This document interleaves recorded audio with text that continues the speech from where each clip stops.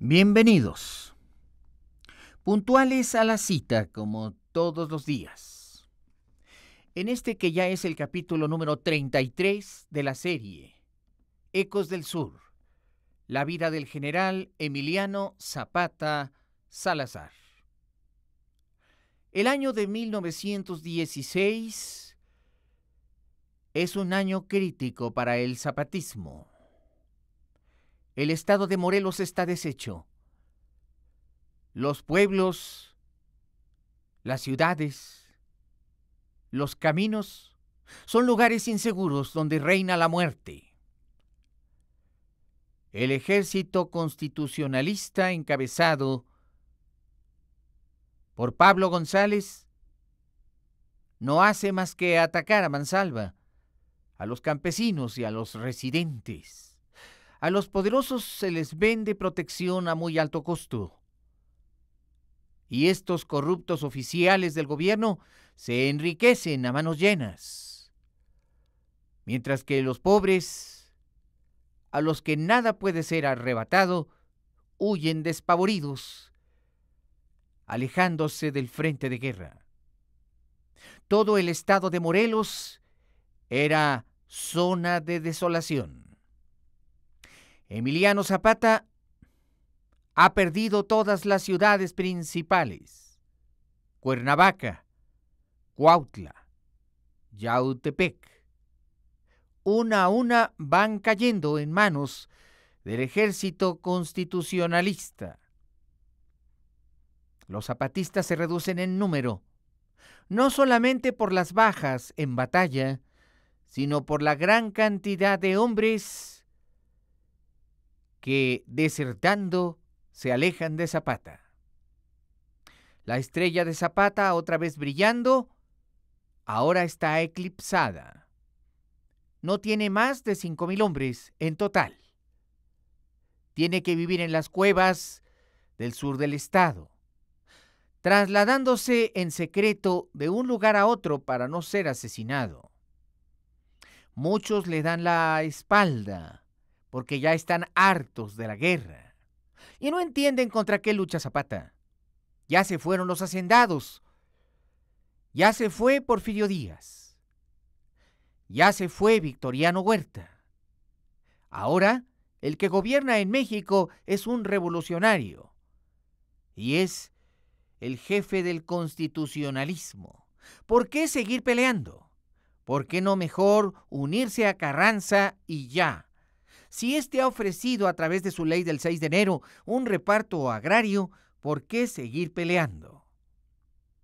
Pero Emiliano Zapata sabe que se trata de una trampa, que Carranza lo que hace es devolver las haciendas a los hacendados.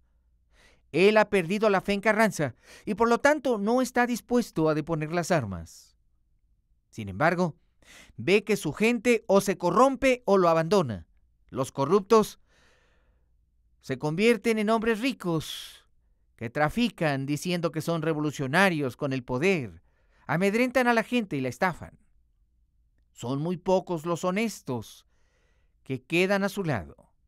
Pero eso sí, Emiliano Zapata es un incorruptible, fiel a su sendero, a su ley y a su visión de una revolución armada Zapata continúa luchando en las montañas y utiliza ahora la estrategia de guerra de guerrillas. Tratando de unificar a las muy pocas fuerzas que le quedan, decide reunir en las montañas a su gente para un plan de acción que se basará ahora en la guerra de guerrillas.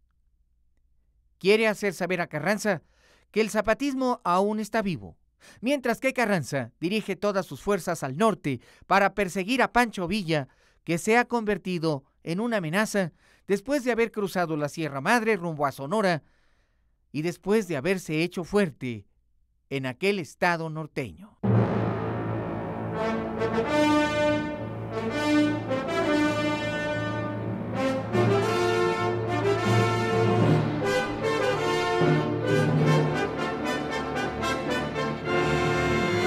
Esto es Encuentros con la historia.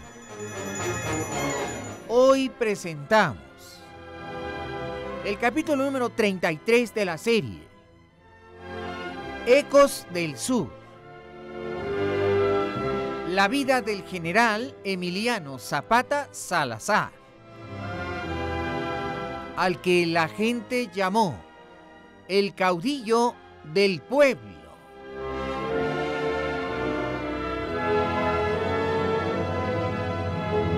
Productor ejecutivo y productor general, Ignacio Salgado Liñán.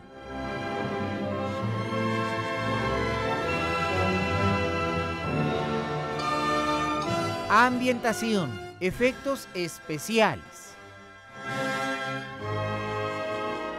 Efectos físicos y operación técnica, Jorge Alonso.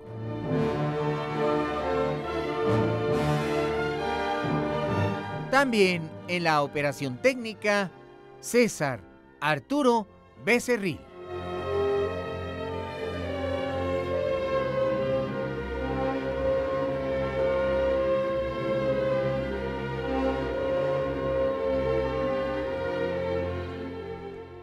Agradecemos el apoyo y colaboración de la historiadora Carmen Hermosillo.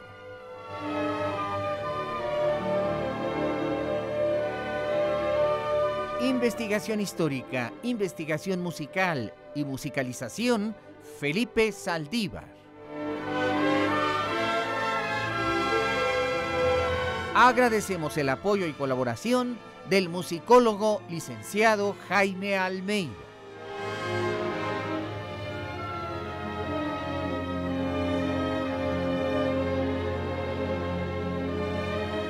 Todos bajo la dirección de tu amigo, el doctor Pepe Cruz, responsable de la creación y de la redacción del libro histórico.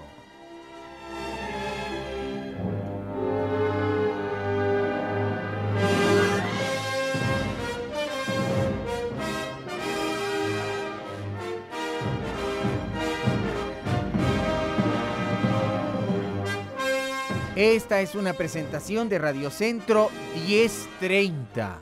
Calidad en tu vida y también del Grupo Radio Centro. El conocimiento de la historia nos hace mejores personas y el conocimiento de la historia mexicana nos convierte en mejores mexicanos.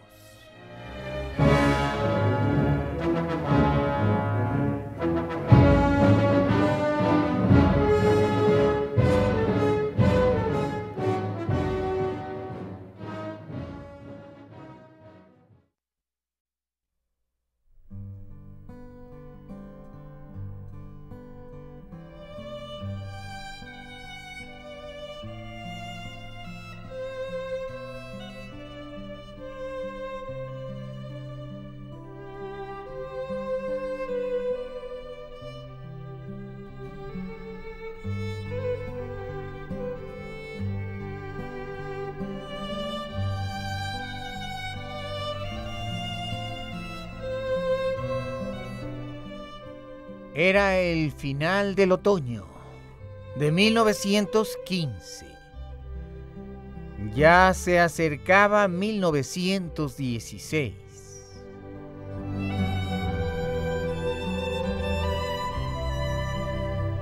Hacía frío en la Ciudad de México.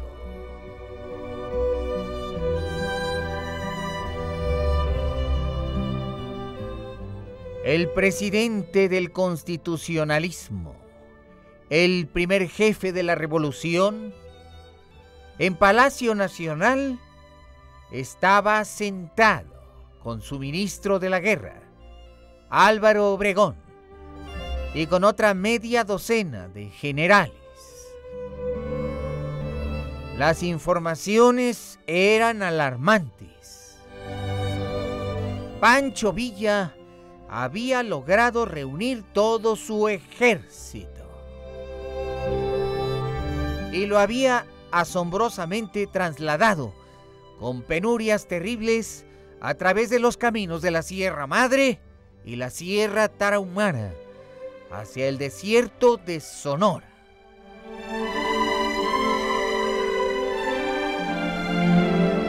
Álvaro Obregón decía a don Venustiano Carranza,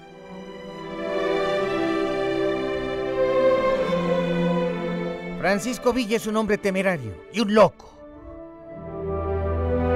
Al principio de sus 12.000 hombres, solamente involucró con el cruce de la Sierra Madre a unos 6.000. Pero después decidió llevarse a los otros 6.000. El muy bárbaro hizo cruzar la sierra a 12.000 hombres, sin caminos ni vías férreas. Sabemos que perdió mucha gente en el camino y que le cayeron algunas nevadas. Pero por lo menos tiene 10 u 11 mil hombres en este momento, ya en Sonora.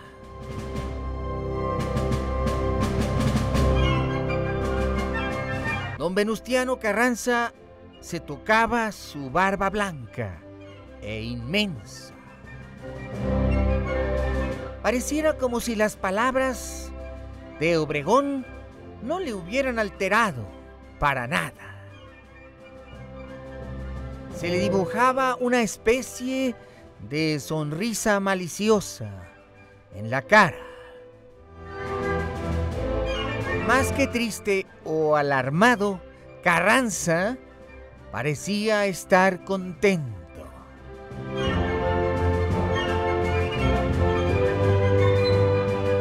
Y entonces dijo Álvaro Obregón, cayó en la trampa ese bandolero, ese tal Pancho Villa, ahora sí está en nuestras manos. Pero la cara de Obregón estaba desencajada. Él no veía solución a aquella amenaza. ¿Qué es lo que el primer jefe sabía que él desconocía? ¿Por qué lo veía tan contento cuando él suponía que la situación de sus tropas en Sonora era ahora desesperada y que los villistas arrasarían con las fuerzas de Plutarco Elías Calles y del general Lázaro Cárdenas?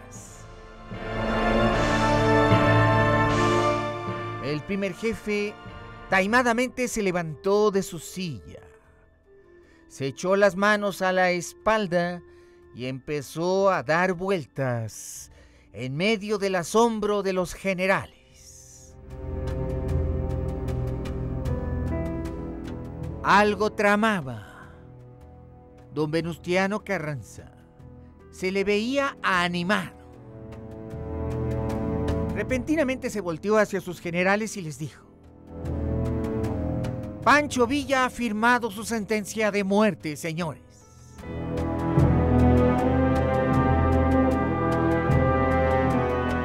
Y entonces tomó de su escritorio un papel. Traía el membrete y el sello del gobierno de los Estados Unidos y lo mostró a sus generales. Miren, señores, vean esto.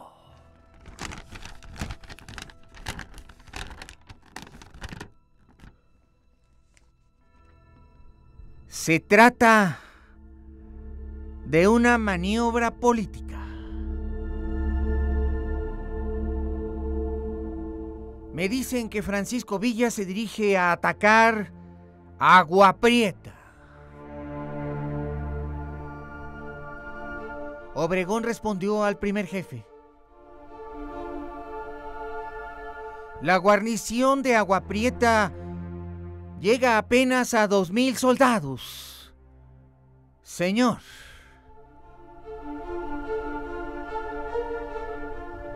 Y los villistas son entre 11 y 12 mil, por lo menos.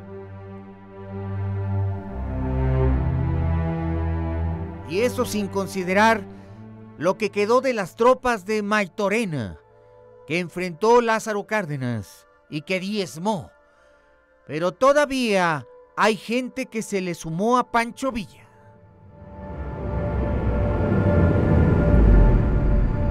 una fuerza tan considerable de villistas es imposible de confrontar. Ya que Villa ha dejado gente en Hermosillo para impedir el paso de la tropa que podamos mandar de Sinaloa. Pero Venustiano Carranza mostraba el papel que tenía en su mano. Aquel documento cambiaría el curso de la guerra. Y entonces Carranza habló, esgrimiendo el papel delante de la mano, dijo a Obregón, mire usted, general, lea este documento. El gobierno de los Estados Unidos nos autoriza a utilizar sus caminos y sus vías férreas para trasladar a nuestra gente desde Coahuila por el territorio norteamericano a través de Texas, Nuevo México y Arizona.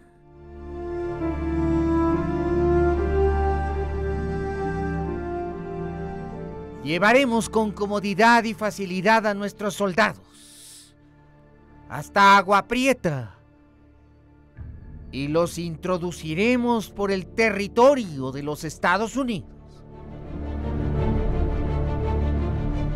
Álvaro Obregón respondió, pero eso es imposible de creer. Léalo usted mismo. Tenemos una autorización plena del gobierno de los Estados Unidos. Ellos también quieren acabar con Pancho Villa de una vez por todas. Desconfían de él. Y es que se ha convertido en una amenaza para los dos países. Uniendo fuerzas con los norteamericanos, aniquilaremos a Pancho Villa. Será la tumba de lo que queda de la división del norte. De órdenes de inmediato de embarcar 7.000 hombres desde Coahuila. Cruzarán por Arizona y llegarán a Agua Prieta por la frontera norte. Además, los norteamericanos nos van a proporcionar equipo de guerra y asistencia técnica, incluyendo reflectores eléctricos nocturnos para iluminar los campos ya que a Pancho Villa le gusta atacarnos de noche. La sonrisa de Obregón y de Carranza era maquiavélica. Con eso no contaba Pancho Villa. Sería una trampa mortal para su división del norte. Lo aniquilarían y seguramente esta vez sí, le darían muerte. Todos los generales carrancistas se miraban desconcertados y felices. Mientras que el primer jefe, sintiéndose orgulloso por su capacidad diplomática, sencillamente ordenó Manos a la obra, señores. ¿Qué esperan?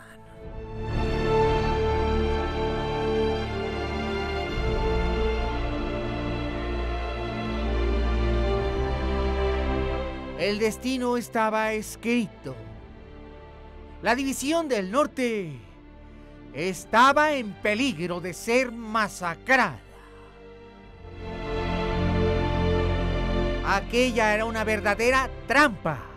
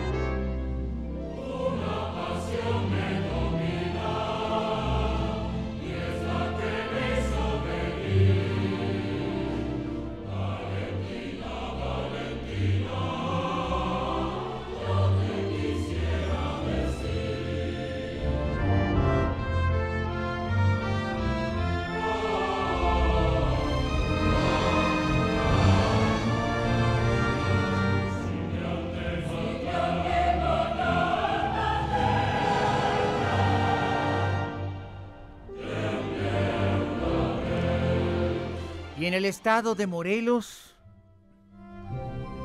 Emiliano Zapata daba los últimos toques a su nuevo plan de guerra.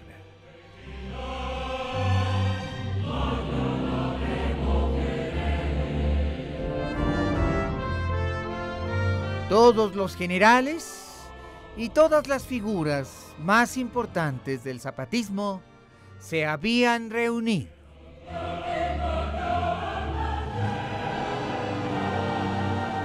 Y es que las tropas de Pablo González estaban muy reducidas, puesto que el primer jefe había ordenado que la mayor parte del ejército carrancista se trasladara a Coahuila, a Chihuahua y a Sonora. La guarnición de Cuernavaca apenas contenía 1.500 hombres. Se habían tornado flojos y perezosos. Y en todas las escaramuzas eran derrotados. Pablo González sabía que tan poquititos hombres no le servirían de nada. Y prácticamente Emiliano Zapata se estaba adueñando otra vez del estado de Morelos.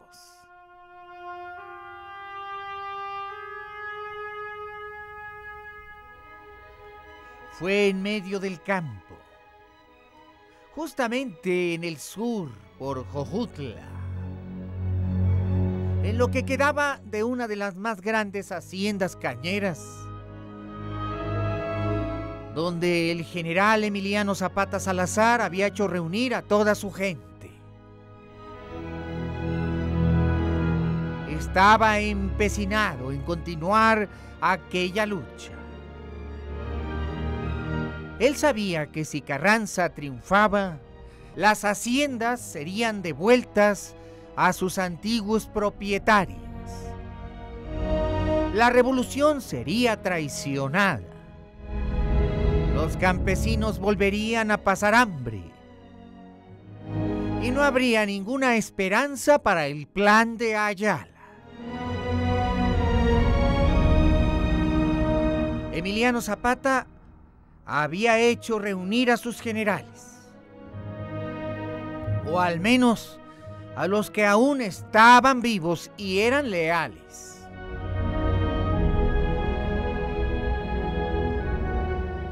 La confianza de Emiliano estaba ahora depositada en aquel que consideraba el mejor de sus generales, un hombre joven, leal y valiente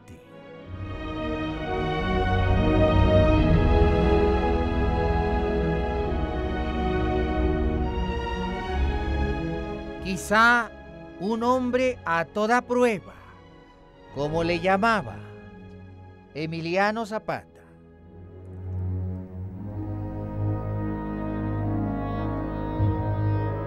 Y este era el general Gildardo Magaña.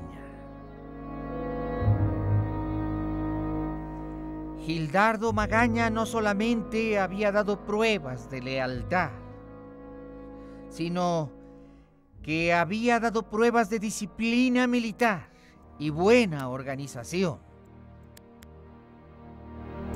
Gildardo Magaña había sido el gobernador del Distrito Federal y había gobernado con prudencia, sin que el poder se le subiera a la cabeza.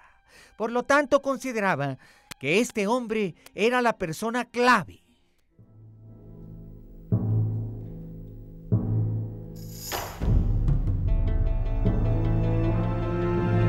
Pero el plan de Emiliano Zapata esta vez tenía dos vertientes. De manera que además de los generales, estaban ahí reunidos los principales intelectuales, hombres cultos del zapatismo. Entre ellos, don Manuel Palafox y Antonio Díaz Soto y Gama.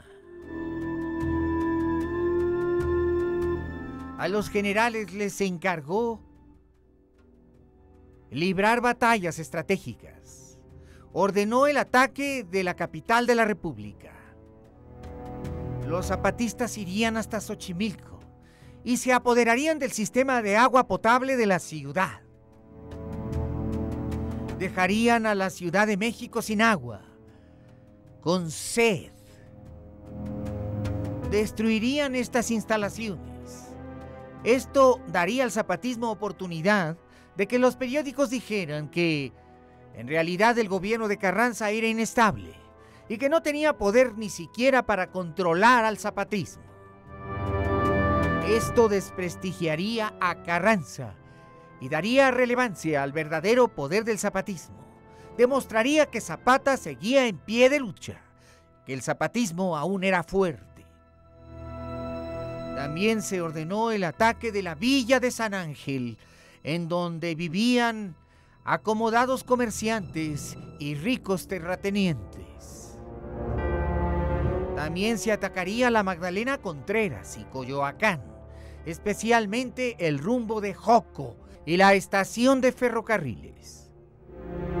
Esta vez, Zapata ordenó que los contingentes fueran pequeños, bien armados, bien entrenados y muy bien equipados. Serían golpes decisivos y muy estratégicos que tomarían por sorpresa a las fuerzas de Pablo González. Pero advirtió que no quería matanzas de la población civil, que únicamente los militares debían morir. Así y siguiendo sus órdenes, se perpetuaron estos ataques. Se hicieron incontenibles. La estación de Xochimilco fue volada en medio de las explosiones y las balaceras, la Ciudad de México se quedó sin agua potable. Zapata estaba triunfando. Después se ordenó el ataque de San Ángel y fue exitoso. Los periódicos de la Ciudad de México decían, el zapatismo regresa con todo su ímpetu. Zapata no solamente está vivo, sino que controla Morelos y amenaza la estabilidad de la Ciudad de México. Carranza nos mintió. El zapatismo sigue vivo y es altamente combativo. El ejército constitucionalista no ha podido frenar a Zapata. Pero mientras que todas estas labores se hacían con gran inteligencia y disciplina militar, el otro plan de Emiliano Zapata se puso en marcha. Pidió a sus intelectuales la redacción de nuevas leyes, las leyes del zapatismo. La más importante, la ley del municipio libre Antonio Díaz Soto y Gama y Manuel Palafox se dieron a la tarea de redactar dichas leyes con otros 30 intelectuales. En los territorios que controlaba Zapata, estas leyes se aplicaron de inmediato. Al crear el municipio libre, se quitaba autoridad y poder al gobierno federal y al gobierno estatal y esto garantizaba mayor equidad de justicia para los habitantes. La influencia ideológica del zapatismo se vería reflejada más tarde en la Constitución de 1917. Ahora el zapatismo estaba triunfante nuevamente, no solamente en lo militar, sino sobre todo en la reforma de las leyes y en la creación de un nuevo Estado más justo para los campesinos.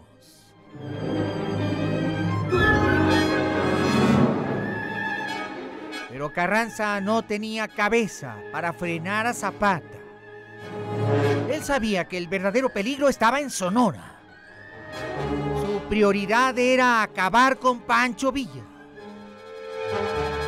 antes de que éste lograra derrotarlo en Sonora. Los planes de Carranza se seguían al pie de la letra. Desde Coahuila cinco trenes militares salieron repletos de soldados carrancistas por el territorio de los Estados Unidos y haciendo uso de los trenes de aquel país. Era una conspiración binacional entre el presidente de los Estados Unidos, el señor Woodrow Wilson, y el primer jefe de la revolución, Venustiano Carranza. A gran velocidad los trenes cruzaban por el territorio de Texas y Nuevo México sin hacer paradas. Al pasar por las instalaciones militares de Fort Bliss en los Estados Unidos, recibieron armamento y apoyo sofisticado y técnico. Algunos asesores militares de los Estados Unidos se sumaron a los trenes en número de 5.000 los soldados mexicanos, con algunos asesores norteamericanos, llegaron finalmente hasta la frontera con México. En Arizona, los trenes llegaron hasta el límite territorial. Ahí fue descargado el equipo militar y la tropa. Los norteamericanos asesoraron en todas las maniobras al ejército mexicano. Finalmente, ahora Carranza tenía más de 7.000 hombres en Agua Prieta, dispuestos a rechazar a Pancho Villa. Se dio la orden de que se colocaran nidos de ametralladoras y trincheras como los que se habían usado en las batallas de Celaya. Pancho Villa no sabía nada de esto. Su fin estaba próximo.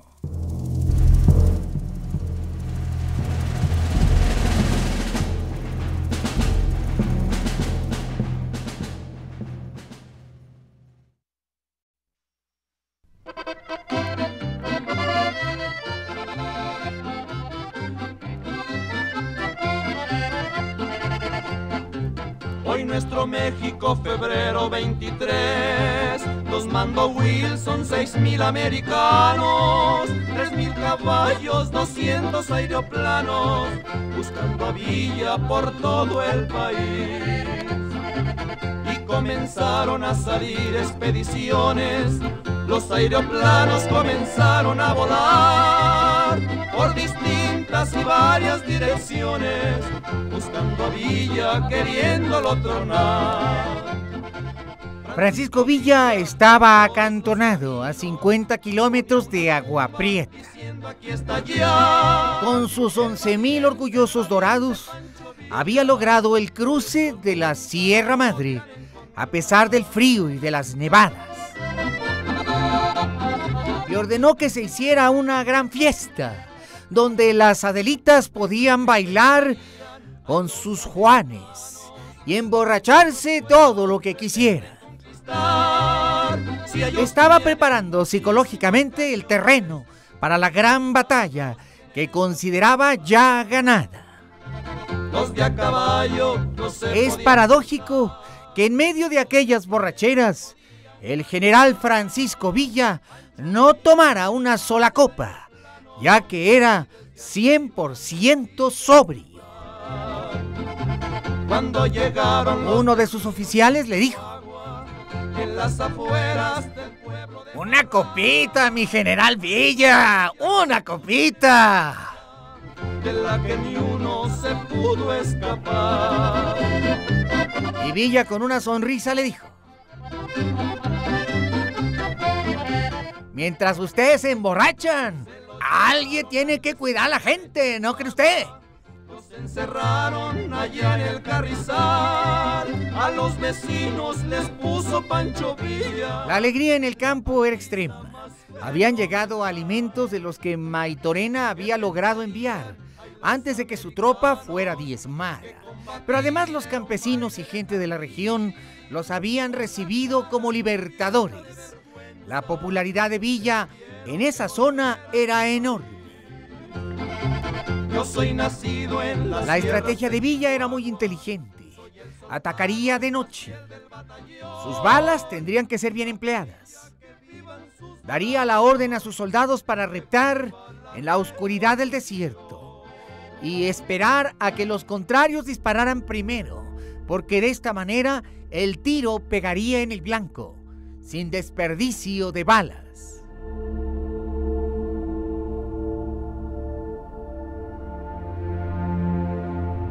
Hacía mucho frío. Era el martes 2 de noviembre de 1915. Los soldados de Villa se habían concentrado en tres columnas. Una había ido hacia Nogales, al noroeste, y otra hacia el sur, hacia Hermosillo, por si las tropas de Lázaro Cárdenas avanzaban al norte. El comandante en jefe de los carrancistas era el general Plutarco Elías Calles. Villa se acercó por la noche y rodeó las trincheras enemigas. Ya no atacaría como en Celaya. Ahora su estrategia era mejor. Tres mil de sus dorados se acercarían a las trincheras en la noche, en medio del sigilo y el absoluto silencio. Reptarían como serpientes con sus carabinas en la mano. El ataque sería nocturno. Y cuando los obregonistas carrancistas empezaran a disparar, sus francotiradores darían en el blanco, matando a los soldados que frente a sus ametralladoras disparaban ráfagas. Villa pensaba que con precisión quirúrgica aniquilaría la resistencia carrancista. Y aquella noche finalmente la batalla estalló. Y se hizo el infierno. Las ametralladoras disparaban ráfagas mientras que los dorados con precisión pegaban en los artilleros de las ametralladoras, matándolos al instante, con excelente puntería y precisión. Los villistas avanzaron, teniendo éxito. Los obregonistas estaban sorprendidos de la certeza de tiro de los hombres de Pancho Villa cuando ya estaban a unos cuantos metros de las trincheras y los obregonistas estaban confundidos, disparando inclusive hasta su propia gente, el tendido de lámparas eléctricas se encendió. En el momento en que las poderosas luces eléctricas se encendieron, la división del norte quedó a la vista desde los nidos de ametralladoras. Los soldados carrancistas disparaban ahora con precisión absoluta. Las ametralladoras rugían. Los villistas se vieron descubiertos. Reinó la confusión. Se sintieron perdidos y empezaron a retirarse, huyendo en desbandada. Así eran blanco todavía más fácil para los artilleros obregonistas que disparaban sus ametralladoras y sus carabinas y rifles. Aquello era una masacre. Las pilas de cadáveres quedaban en medio de la arena. Aterradora noche. Espantos. Hubo varios ataques. Las batallas se siguieron. Villa no quería darse por vencido. El 2 de noviembre habían comenzado los ataques a Agua Prieta. Para el 9 de noviembre Tres mil dorados estaban muertos. Los carrancistas habían perdido tan solo mil hombres y recibían refuerzos desde el sur y del poniente.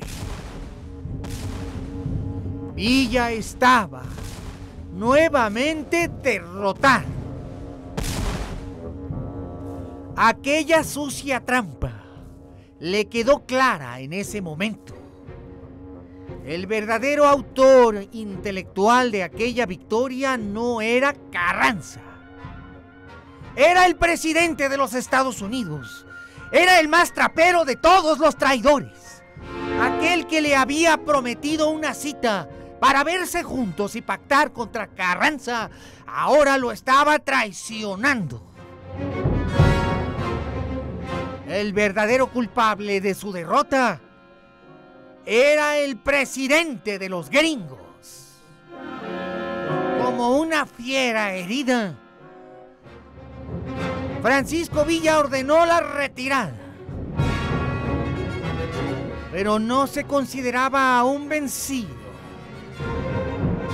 Si no había logrado tomar agua prieta por la ayuda de los gringos, y lo mismo había ocurrido con Nogales, ahora atacaría Hermosillo con la ayuda de los yaquis. Pancho Villa aún no estaba derrotado. Daría la cara y nuevamente enfrentaría a su enemigo.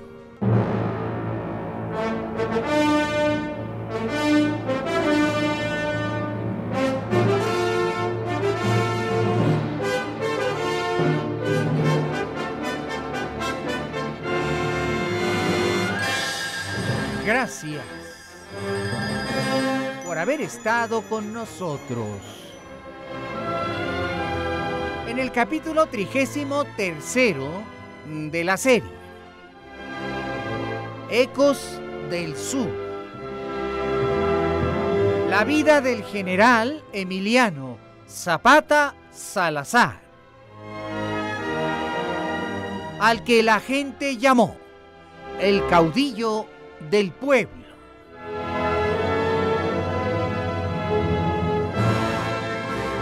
Por tu fina atención, infinitas gracias a nombre de todos quienes trabajamos en este proyecto. Y te recuerdo, los 365 días del año en Radio Centro son días de encuentros con la historia. Nuevamente muchas gracias por tu preferencia y tu compañía. Recuerda, tenemos una cita mañana por la misma estación y a la misma hora.